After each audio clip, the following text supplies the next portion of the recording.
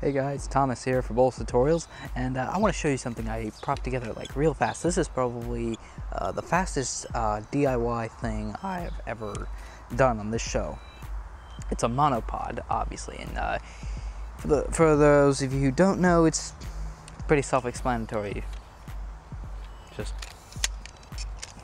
put it down, put the camera there, and then you get smooth, steady shots. So uh, I'm actually gonna show you how I built this. Hang on. I just have, um, I have this PVC end cap and uh, this quarter inch bolt nut. So, so I screw on this, so, and neighbors are staring at me, but I don't care. Okay, so now it's on there. Good and sturdy and, uh, yeah getting some ideas.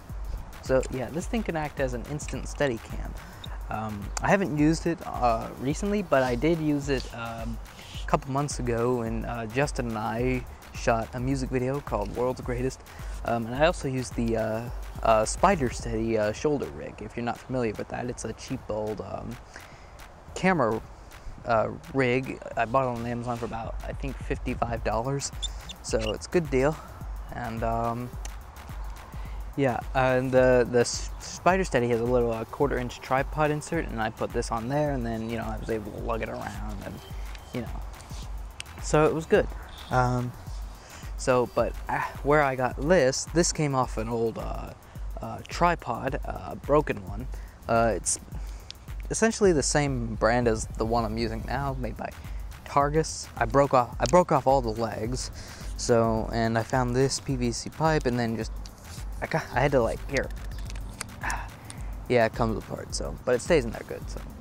So I had to like, you know, like get some pliers and like squeeze it, uh, clamp it down so it'll, so now it fits right in there nice and tight, so. Um, but yeah, um, if you got extra scrap parts laying around, uh, this is definitely the cheap. This is the cheapest thing I've ever done on the show. So uh, this can also support DSLRs. Uh, um, but uh, if you don't have scraps like I do, I got a ton of scraps in there. Um, you can buy one. I've seen one. I've seen ones at Walmart. They run for about maybe 11 15 dollars, somewhere around there.